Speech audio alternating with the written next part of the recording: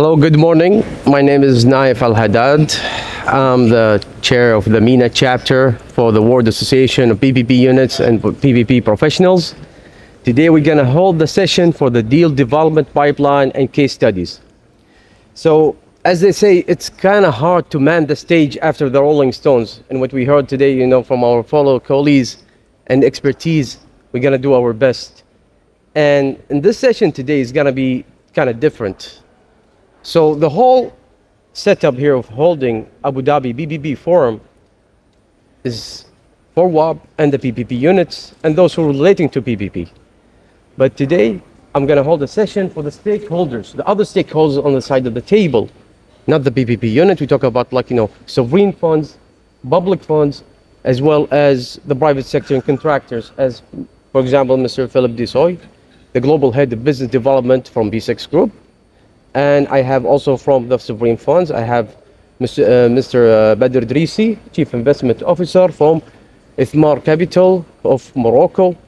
I have Mr. Khalid Al Khatib, Investment Director of Rakiza Fund of Sultanate of Oman as well. And Mr. Ahmed Al Hammadi, Director of Financial Sustainability and Investment Department, Ministry of Energy and Infrastructure, United Arab Emirates. I would like to thank United Arab Emirates and the state of Abu Dhabi for hosting us and holding us today with their hospitality.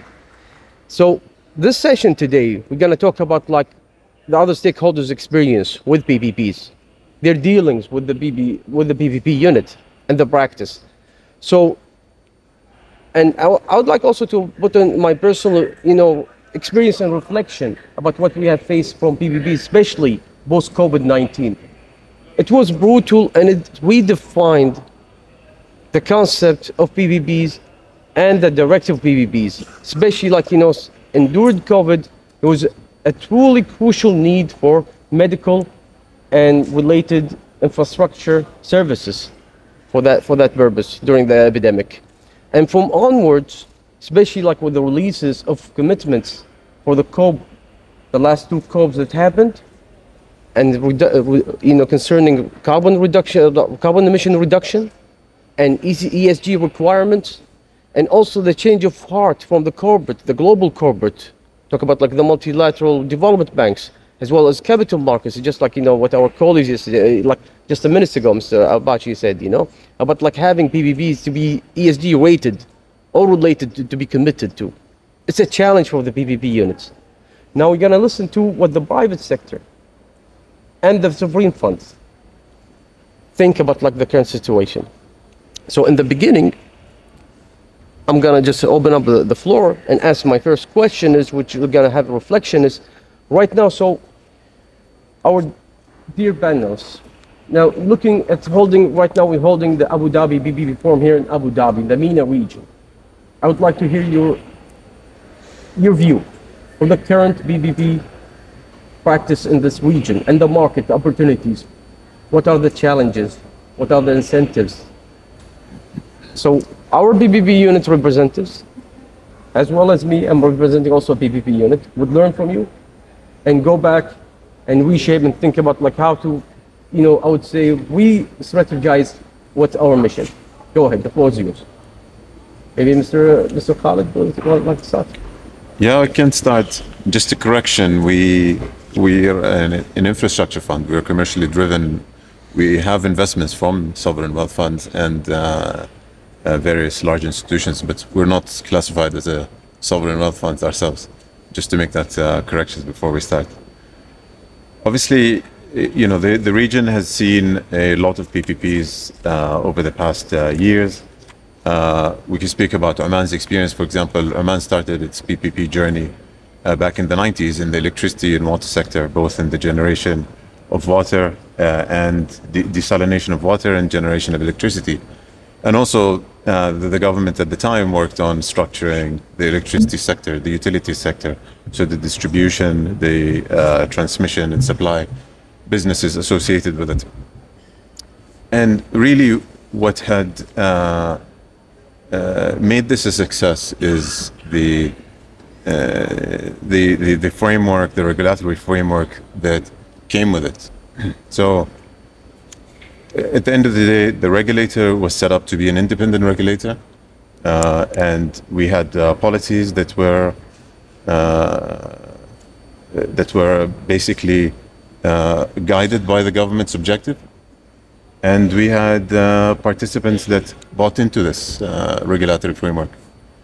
So at the end of the day, you as a as an investor want to know that you're going to be treated fairly when you want to invest in these projects.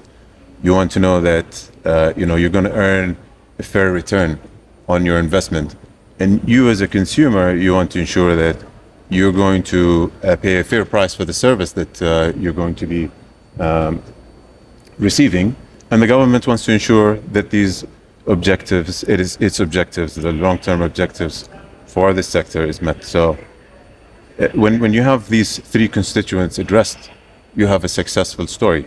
And when you have a track record, then you can continuously sell new projects in that market. So in Oman, for example, we had a, a track record of these projects happen since the 90s. And it started with electricity and water, and then we moved into renewables. But then now the government wants to move into other sectors. Uh, and they've developed a PPP law, they've developed uh, regulations around that, and now they started uh, uh trying to build a new wave of PPPs um, uh, and, and, and create new opportunities in other sectors that uh, we didn't have uh, before.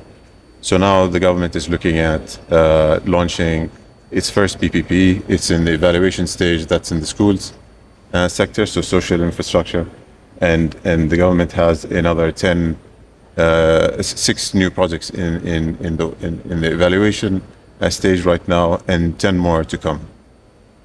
So yeah, so basically it comes down to really this regulatory framework and this laws and this consistency across the board. Mr. Al-Hammadi?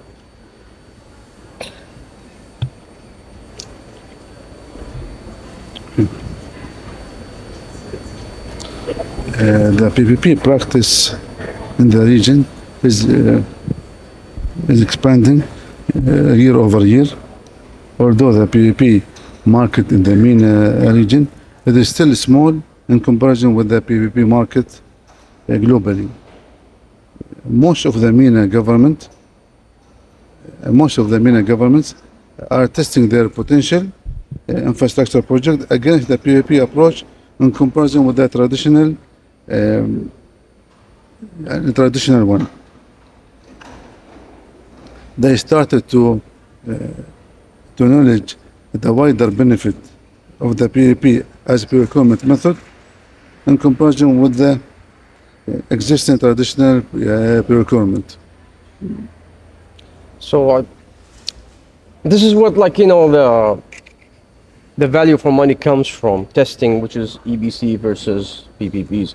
Uh, I just want to just a small intervention. What what uh, Khalid said, like about like you know, yes, I know Oman have a great experience since, since the 90s developing IPPs and IWPPs and then establish the PPP law and regulation. You know, in Kuwait, for example, we know it was the reverse. We established the law and then we established the. So the track records it makes a setup because like you would learn and go back to reshape how your progresses.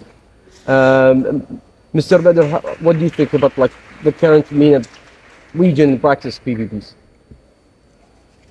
Yeah, uh, thank you. First, I would like to congr congratulate uh, WAP for, for, for this event and also thank them for the opportunity and also uh, thank the UAE and ADNEC and uh, UNCTAD for, for this uh, uh, really interesting and successful event. Um, coming back to your question, yeah, it's quite interesting to see how things evolved these past years, especially um, given the successful shocks, so COVID, but also uh, uh, what's happening around the world regarding uh, climate change and sustainability. For example, in Morocco, we have a strong track record when it comes to IPPs. But today, the urgency is, is access to water. So there is a large program um, to develop desalination units. And so we are trying to capitalize on what we've done on uh, uh, with IPPs to electri in electricity generation. So there is a new law, uh, amended um, law for PPPs in order to uh, promote and foster investments. Um, and given the, the, the, size of the needs, there is no way that the government could finance or fund these projects. We'll also talk about this maybe later regarding the execution capabilities, um, uh, both in numbers and in quality of PPP units and line ministries. And this is where uh, uh, uh, investment funds, both private and, and public, but also private developers and companies, could help uh, the government uh, in order to deploy and implement more more projects. But we see these challenges as opportunities in order to start this both energy and technology transition when it comes to critical infrastructures, but also social infrastructures, so healthcare and, and education. For example, in Morocco, uh, we are developing a large uh, vaccine facility through a PPP scheme not from a legal perspective, but having both private and public uh, investors and developers uh, building and then operating this this facility. So absolutely, COVID uh, and successful uh, and um, and the other shocks, subsequent shocks, uh, are changing how we see PPPs and how government are are dealing with this. Because again, uh, given the social needs, there is no enough fiscal resources or, or budgets in order to sustain and, and, and, and build all these critical infrastructures. Thank you. I, I think one of the, the main aspects and the challenges is that it has to be a routine practice by the state to go back and identify the needs on almost routine basis and from it to prioritize like you know the needs especially when it comes like you know the medical and social right now we have a whole dedicated almost session on like social infrastructure, and this is the new trend that's happening even here, like in the GCC region.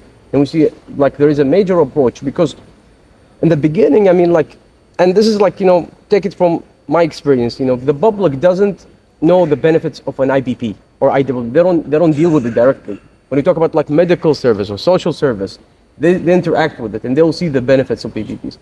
Mr. Dessoy, what do you think about like the market here as a contractor? Yes, I mean, um, as a contractor, I mean, first, what, what we want, of course, is to, to de-risk the, the project. And why, why a contractor would go into PPP, I think, I mean, in our case, in BESIX uh, uh, case, it was more to have, a, let's say, a stable revenues over the long term. I mean, you know that contractors' revenues are going up and down according to the project, and some are successful, some are not successful. So let's say the PPP gives to the contractor, let's say, a stable base uh, of revenue and, and, profit, of course. And when we went into PPP the, the first time, let's say we were approached by the government of Ajman. I think most of you know Ajman here, but Ajman is a very small emirate, not rich as uh, Abu Dhabi or, or, Dubai. And there was an infrastructure gap in Ajman. I mean, the city of Ajman was full of uh, septic tank and uh, I would say not very healthy uh, to live there. And so they approached us to, to put in place a PPP that was in, uh, in 1998, 1999, so early stage of the, the PPPs, except in the power and the, and the water sector, of course.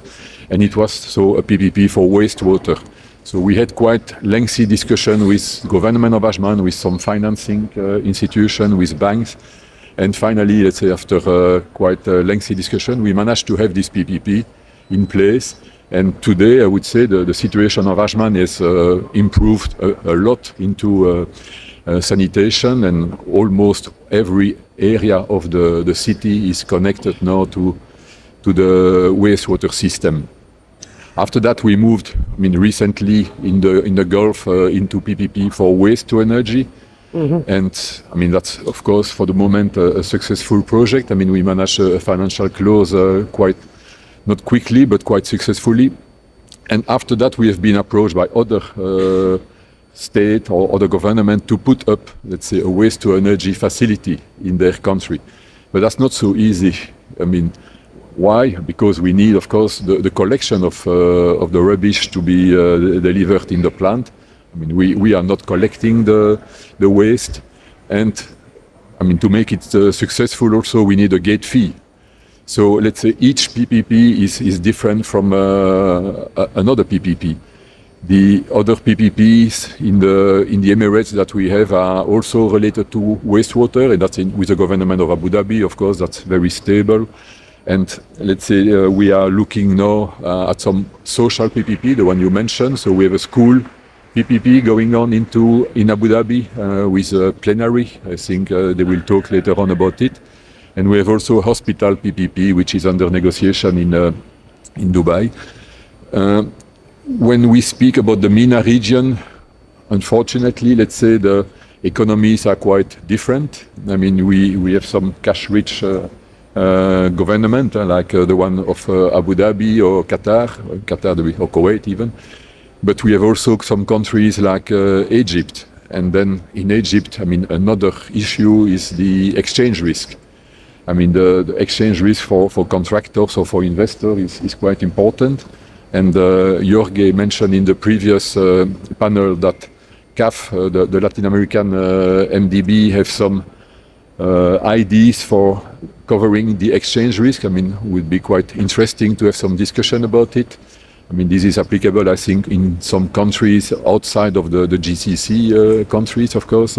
Maybe Morocco a little bit, but not so much. But I mean, if you take Egypt, it's a, it's a huge, it's a huge risk. So, so the view of contractor is more, let's say, to, to de-risk this project. I mean, we are of course there to, to, to do the project, let's say, to, to construct it, to build it, but we are also there for the maintenance of the project. And usually, let's say, it's a, it's a long-term investment. I mean, if we take BESIX, for example, we never sell the share we have in the PPP so far, and we have some of them for, for 20 years now, uh, the one in, uh, in Ajman. Touching, touching, touching on that, when you say that you know these risks. Now I'm gonna ask you for your secret recipe, okay? Right now, as a contractor and also as like, you know, as funds. What is your, your internal practice when you're assessing where to work at as for PPPs and assessing the situation? Should I go here or there? I mean, how would you evaluate it internally? What are like you know the, I would say the things that you're looking for to, to consider working? You have different systems, you have different countries. For you, Mr. Desoya. Yeah. So what are we looking for? I mean, first, I mean, is to to have a bankable project. I mean, uh, you, you know, PPP study is costing a lot of money. I mean, we are used to spend uh, a few millions of dirham or even a million of dollar uh, just like that for for some uh, pre-development cost of uh, PPP. So these are very expensive, uh, let's say, uh, project to, to develop. So we want to make sure the project is, of course, bankable. We, we look also at the environment uh, to make sure the project is well prepared. I mean, some clients come to you and they say, oh, I want a PPP, but yeah, on, on which basis? Uh, I mean, uh, do you have a feasibility study which was done by some reputable institution? Uh, do you have funds which are moving with you uh, to, to join force? I mean, we, we cannot do this alone uh, usually. I mean, PPPs are, are quite uh, capital uh, intensive uh, for contractors for sure. So let's say we look at different topic. The, the one I mentioned also, exchange rate, stability of the country also is very important for us. I mean, we, we will talk maybe later on about some countries which are less stable than the, the, the GCC countries. uh, if you take PPPs in uh, Latin America, I mean, we, we have an experience of some political instability, same in Africa. So all this, let's say, take take a, a lot of importance before we decide to go into into a PPP uh, in, in in a special project uh, in, or in a country even. Yeah. And like you said, also like you know, I would say global effects, just like fluctuation for foreign currency, just like you know the ones having, for example, Egypt or like you know, some places war, like you know, inflation would also be crucial. Yes, I mean, for example, Egypt. I think it's impossible today to to hedge the Egyptian pound. I mean, it's it's more a political decision than an economic decision. So uh, let's say the banks are, are not uh, willing to hedge the, the the currency, and hedging is costing a lot of money. So it's adding a lot of money, of course, to to the cost of the PPP as well. Now, I'm gonna ask a question. You, you know, Mr. Hamad, you're, you're presenting the state, the, the state of government of Abu Dhabi. You know, and Mr. Mr. Khalid, you know, coming from the GCC, and you have to go talk about like you know, checking us like from the sides of the table. Talk about like the PPP units, especially here like in the GC region, for being natives of the GC region. There have been changes over time, laws, reshaping laws, going back in the drawing table, and sometimes like some units would be just expanding and the mandate, maybe slimming down, maybe bundling. Similar situation, even almost having uh, also at Kuwait. You know, we keep hearing about like you know sometimes bundling, reassignment of duties, whatsoever. How would affect the interest? Do you think, as like you know, and how to mitigate it is like from the investor side as well? What what what what, is what you think is like the pros or cons or like the effects of such a decision? Sir Hamadi? Uh, recently, when the yani, when there is any kind of restructuring in, in the government restructuring, uh, they are giving big support for the uh, investment and alternative financing function. Uh, let's say one of the major uh, example in the Ministry of uh, Energy and Infrastructure, they established one department.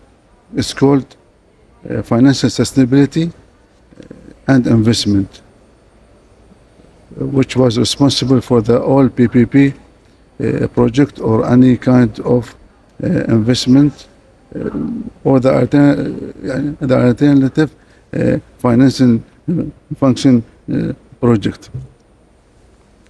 The result was in this, there are so many projects in the pipeline. Let's say in the all ministry sector, housing and energy and infrastructure, and the marine and land transport. On the other hand, also uh, in the local government, they established uh, so many uh, department and let's say, uh, for example, Dubai municipality or Dubai land authorities uh, or Sheikh Mohammed bin Rashid uh, housing establishment, they established, let's say, kind of department which was specialized in in the PPP.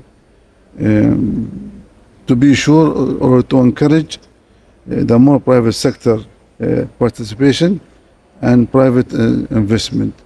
This is in my uh, in my vision. It's more like decentralization than having a single unit. Yeah. Well, Khalid? Uh, so uh, can you can you just remind me the topic again? So like okay, now you know, especially like here recently in the, in the Uh, you DC mean region, we talk about like change, change yeah. of laws, uh, the units, the sh- reshaping of the units, switching, the reassignment. So definitely any any change has consequences and I think governments and procurement agencies need to appreciate and understand that these consequences will lead to effects and sometimes these effects are negative. in the case of PPPs, if there are a lot of disruptions in the system, investors are going to be afraid. Uh, i- i- investors would walk away. Lenders would not be comfortable in funding these projects, as well as developers and contractors. So, what an investor wants is a stable system, and we go back to the regulatory framework. If there is a regulatory framework that is clear, if there is a uh, uh, law and a system that is established, then there is confidence that this project is going to go through. As an investor, as a contractor, you don't want to find yourself working on a project for a year or two and then realizing that this project is not going anywhere. Yeah, Uh, yeah. You've spent a million dollars, you've spent two million dollars on, on developing this project, and eventually this project doesn't go through. So definitely these changes uh, have their impacts, and I think uh, the governments need to be alive to these uh, issues. Mr. Dessoy, you've been working for like maybe 20 years right now in the region. Why would you identify the red flags in a PPP project? I'm gonna open with you and let uh, everybody to identify. I mean, the, the red flags, I think, for me would be first, the project has to be bankable. Okay. I mean, the contractors need some, I mean, or the investor uh, needs some guarantee. I mean, I was talking about Ajman, for example, for the wastewater. I mean, one of the red flag was to be paid, of course, of the cost of treating this water. And we, finali- we finalized at the end, uh, but it took long time, we finalized an agreement with uh, FEWA, which is the Federal Electricity uh, Government Authority, to have, let's say, an, an agreement that if the, the landowner or, or the, the, the people don't pay the fee for wastewater, because it's quite difficult to measure it, so let's say the FEWA would uh, come and uh, cut, cut, of course, the, the electricity. So you need some power to make sure that the investors all the contra- and the contractors are, are paid later on for, for what uh, they do, for the service they give. Um, another red flag, of course, uh, I mean, I mentioned it before, is the, the currency exchange. I mean, we, we as contractor are not, are not ready to take the risk for currency exchange, of course. Uh, another red flag again, I mean, is to have, let's say, some PPP which are well prepared. Because I mentioned uh, to spend a few million dollars and then to see that we go nowhere. I mean, it's not, it's not something let me, we. let me clarify something. When you say like to be paid, Yeah. we talk about like the availability of funds or the availability to proceed the payments. There's, there's a I mean, to, yeah, not to be paid, of course, we will be paid. But Yeah. I mean, the, the SPV needs some revenues uh, from from somebody, let's say. So, or it is the the people who, who use the the facility, uh, like wastewater. But wastewater, you jump, you just dump your water into the system. Uh, there is See- no see, one- control. see, so- one of the challenges yeah. we keep facing is, you know, the physical budgeting allocation for like state government entities Yeah. with PPP commitments, like, uh, like uh, I would say the payment scheduling. Yeah. There's always a challenge in alignment for both. Yes, yes, yes, there is. I mean, but okay, that's calculation of cash flow and to see uh, how to to mitigate the the negative uh, drop into payments and all these things. I mean, uh, you mentioned COVID, for example. Yeah. Uh, COVID was, of course, uh, a major issue for uh, PPP. So some PPP owners, uh, the one into airport, for example, uh, it was very difficult time uh, to have uh, one year without. Uh, any activities in the airport. So depend. I, I think it depends a lot onto the, the activity of the, the PPP. If you go by your contractual PPPs, for example, uh, I mean, if, if the government has gone into a contractual PPP, they know that this is the amount of money that I need to pay this month or that month or this year.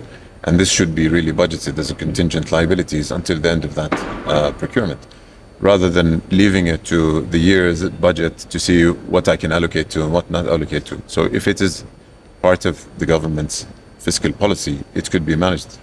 But Khalid, no, no state is going to allocate, for example, the budget for 25 years in a lump sum.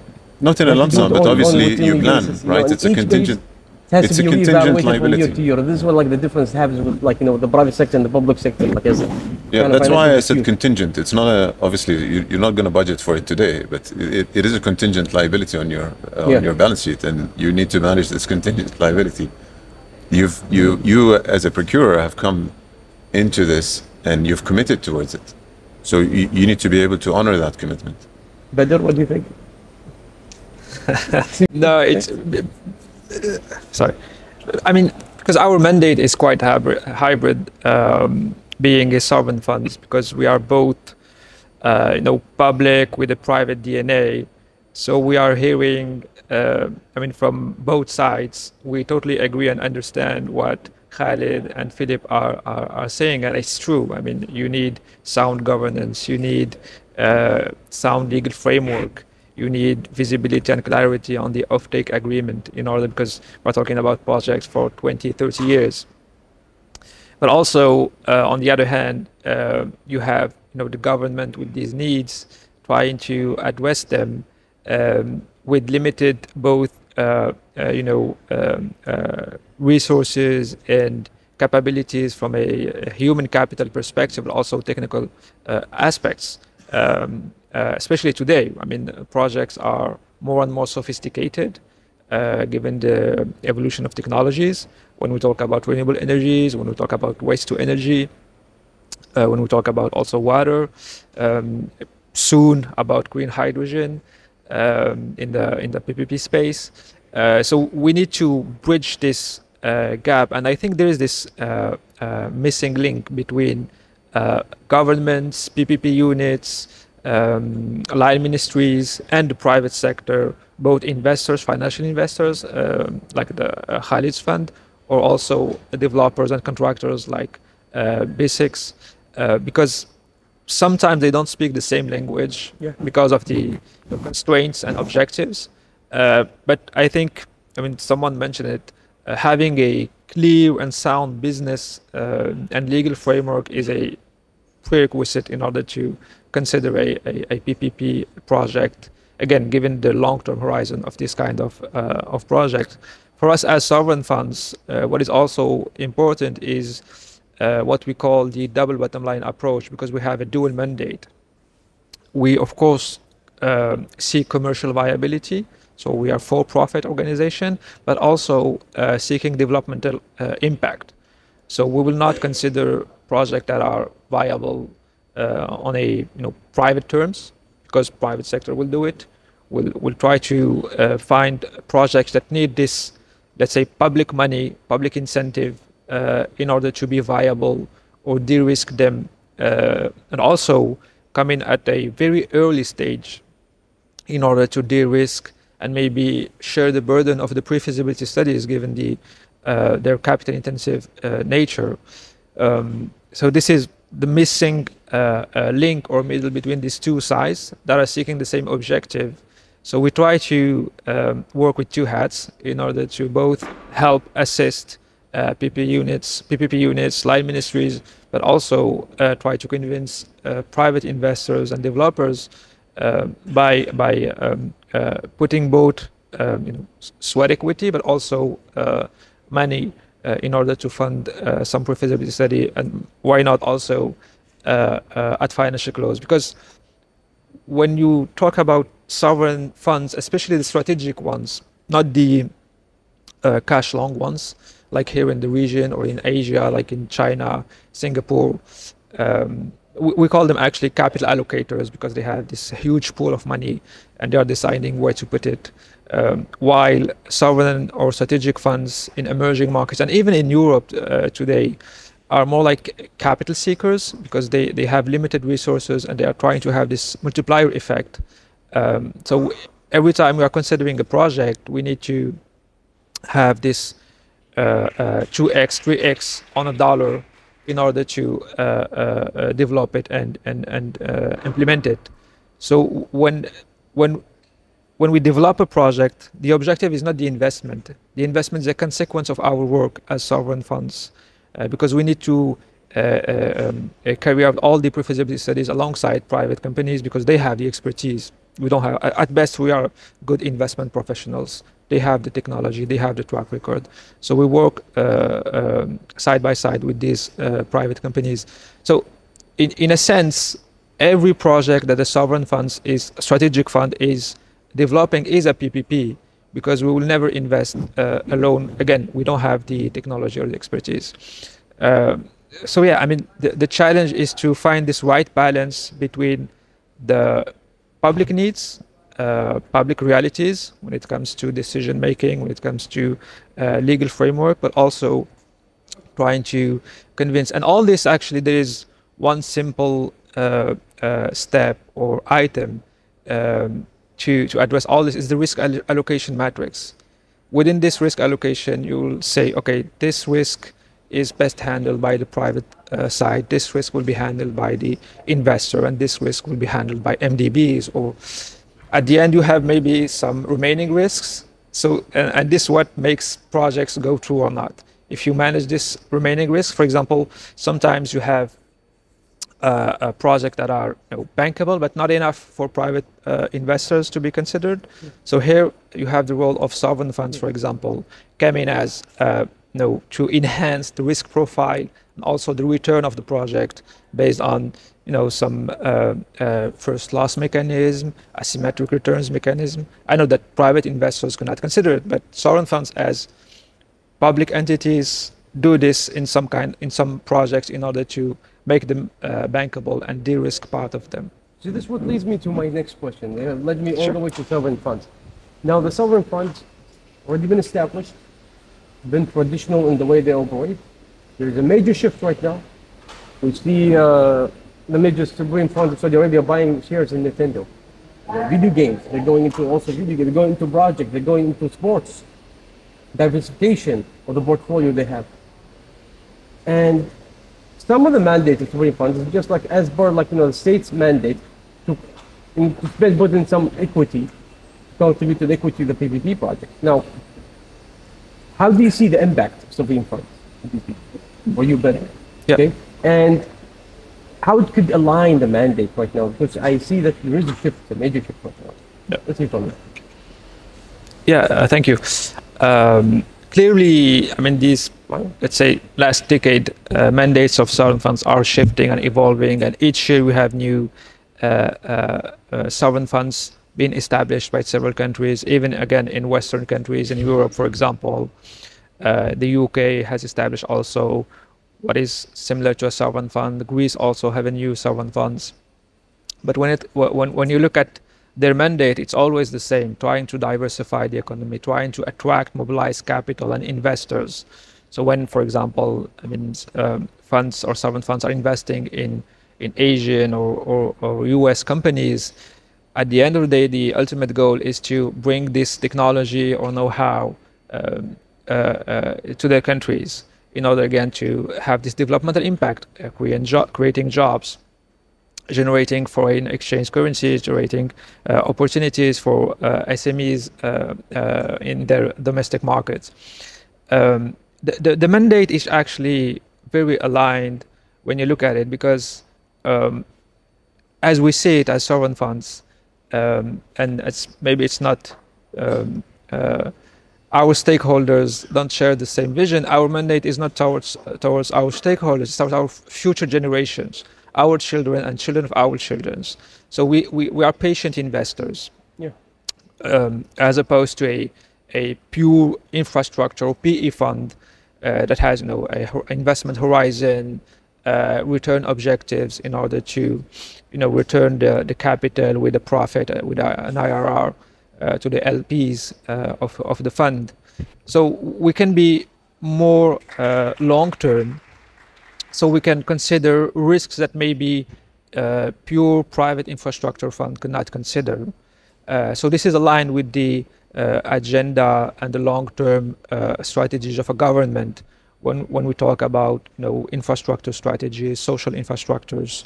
Um, so the the the the uh, in, in in this sense, we we need to work together um, and, and act as a relief for the PPP units and line ministries because again, uh, uh, they have a lot to do. We have uh, the capabilities, uh, the means, but also uh, the frequent and constant dialogue with private investors. So let me clarify. There's Yeah, no sure. mechanism right now. Uh. There's no mechanism, no set mechanism right now for like engagement with the PPP unit. It's. I mean, it depends. uh, on- It's on a country by country basis. If you, for example, let's let's talk about Egypt. Uh, example when it comes to desalination units. Uh, all the uh, stake public stakeholders involved in the water uh, uh, and desalination uh, process delegated their authority to the sovereign fund of Egypt in order to uh, identify, prepare, procure, implement more than 15 uh, uh, desal unit. So they've done all the uh, feasibility studies, the request for uh, uh, interest.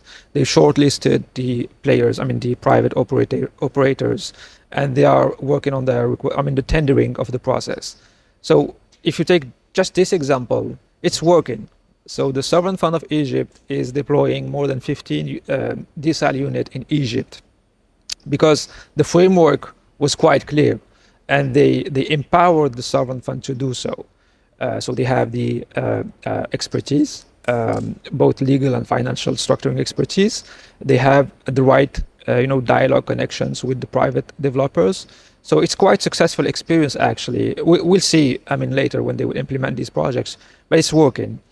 We can also uh, there's also another uh, very interesting example in Gabon in Africa, where the the strategic investment fund of Gabon has been uh, entrusted to develop a toll road in, in Gabon, and they they developed what they've called a pre-concession agreement. So the government uh, uh, gave uh, uh, the license to the Gabonese fund in order to uh, perform the pre-feasibility studies, and depending on the outcome of these pre-feasibility studies, they will go through and then launch the, the tendering in order to select uh, a private developer.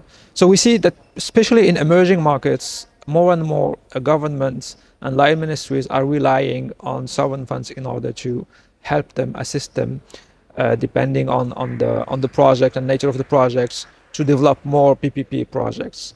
Again, based on uh, uh, the internal, let's say, uh, capabilities of sovereign funds and their constant dialogue with private investors. Let me let me add you something which Sure, is sure. maybe kind of different. Just to touch on base, you know. Uh, from where I come from, Kuwait, the sovereign fund and the pension funds are required to participate in PPP projects. We talk about the projects that exceed like 118 million dollars in capex. They're like required, and they have to have a share like in the in the stock joint SPV company, like 20% max or 25% max. So they have to be con. But right now there is maybe a, a choice because then it was just uh, it, it was just like enforced.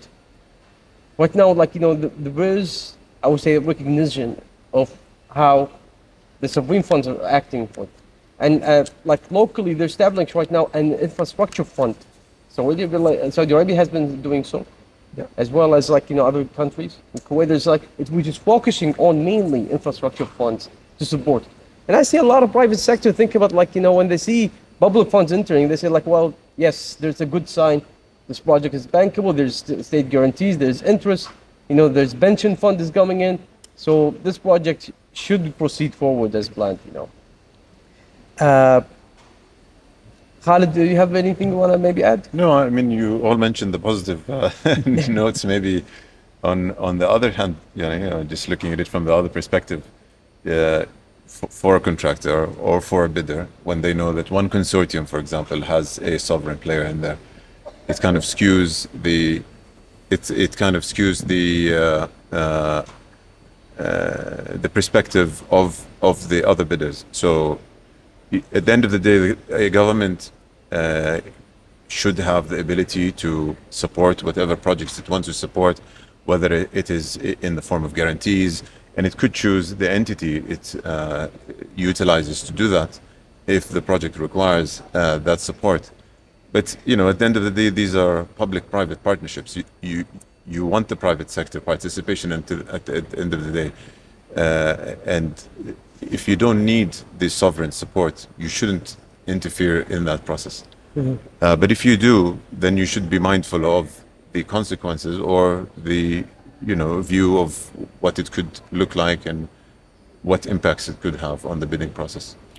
Well, see, because of, you know, I mean, I've dealt with sovereign funds and, and like when they're injecting and becoming partners as a stakeholder. Like in the beginning, like remember the word I said, like I use as stakeholder, like in the end, the stakeholder.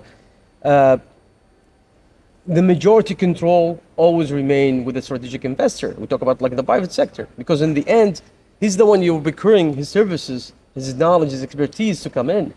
You're not coming and bringing in and then letting the public entity running the project. Otherwise, it's, it's a public project.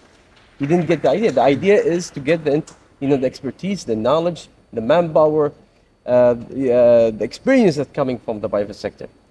Uh, I'm, I don't know if we're gonna have a Q&A, uh, like I don't know if we have resolved the microphone, but I'm gonna go for like uh, just one, two more rounds.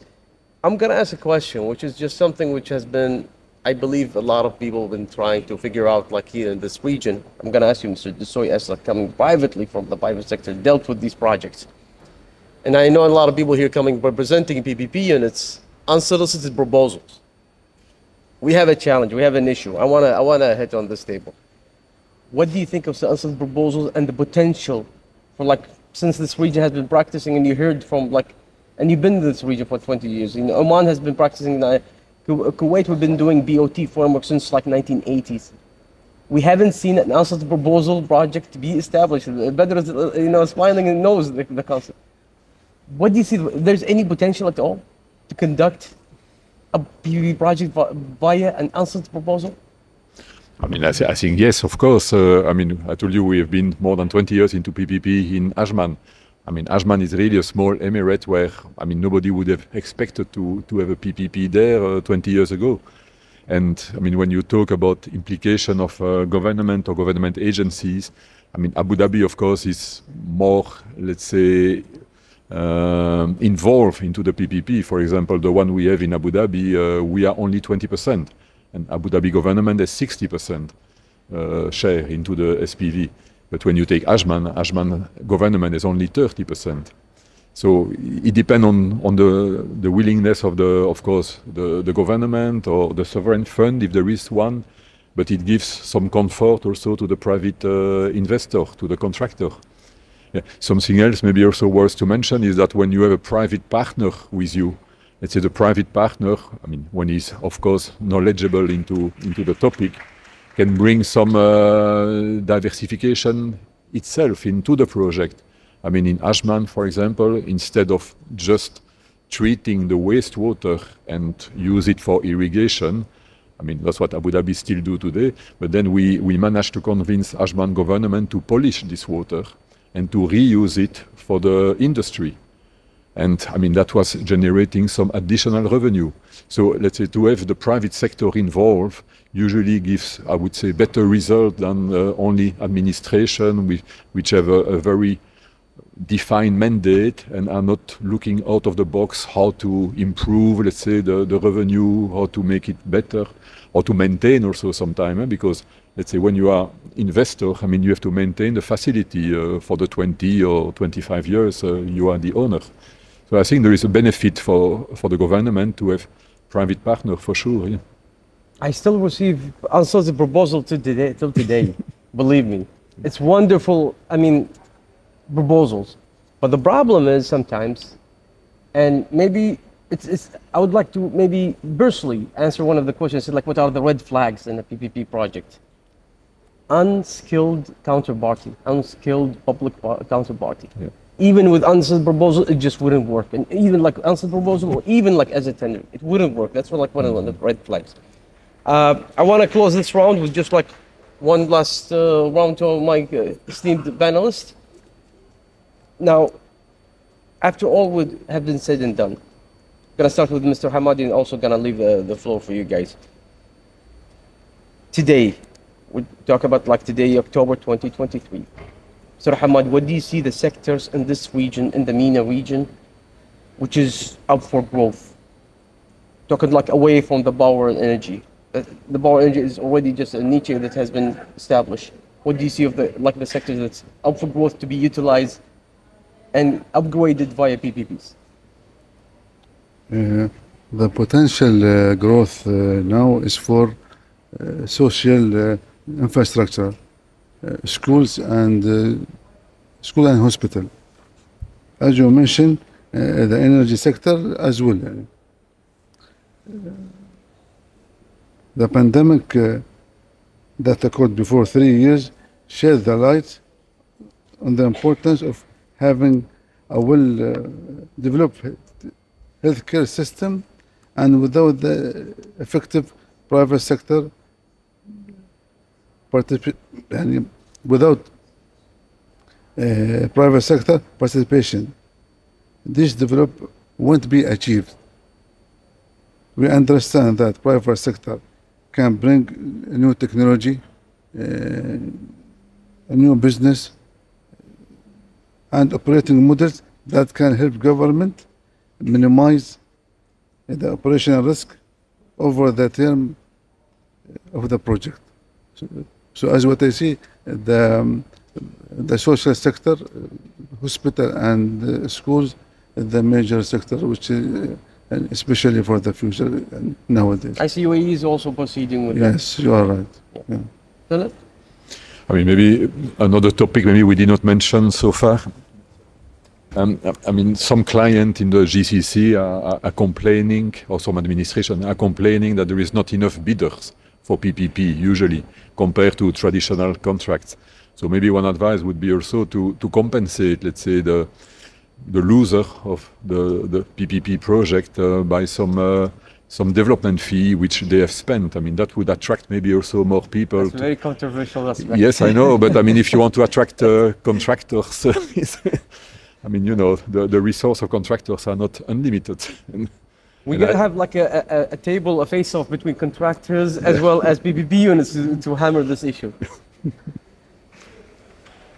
There's always a disclaimer, like in the documents, the RV document, there's always a disclaimer, you know? not responsible. Nothing shall be Yeah. compensated for. yeah. Khalid? I think, uh, I mean- I mean, obviously we have uh, a great history in the electricity and water sector around the region, uh, but you know, the usual suspects really: uh, social infrastructure, waste. Um, uh, uh, you, you hear, for example, in the UAE, they've embarked on a large waste uh, energy project in Oman. They've been flirting with the idea for quite some time, and they they're advancing with that project, but it's in an early stage right now. Um, uh, and we can look even beyond your contracted uh, businesses where you look at broadband, which is in a sense a service today.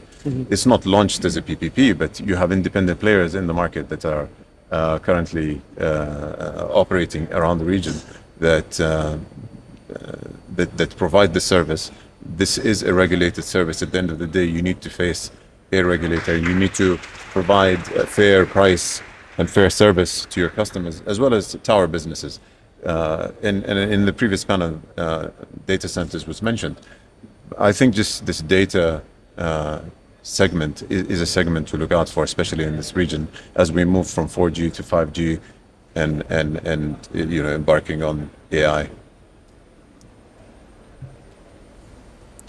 No, definitely. Um, uh, digital infrastructure is a really strong investment theme uh, in the region, but also in Africa. Uh, if we want to talk about, you know, uh, digital sovereignty of the continent, also food security, we think that it's a space that we could explore um, in a you know, PPP scheme, where the public side will, you know, identify, prepare uh, the project, the lands, etc., and the bidders will be, uh, you know, investing or, or bidding on this kind of uh, projects to uh, produce uh, food.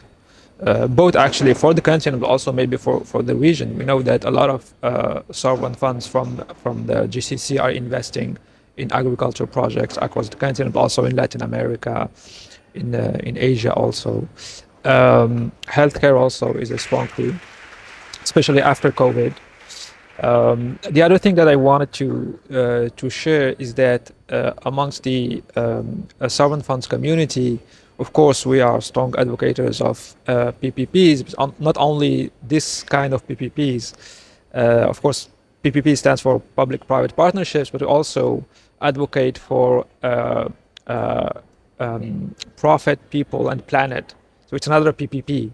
Yeah. So for us, it's PPP square because when we invest, we have this dual mandate, we need to have de- developmental impact. So it's not only private-public partnership, but also for um, profit, because we are profit-oriented, also people and uh, the planet, given the sustainability uh, goals and agendas also. Well, I think we've run out of time. Ladies and gentlemen, give our esteemed panelists a round of applause. Thank you very much. Thank you for your attention.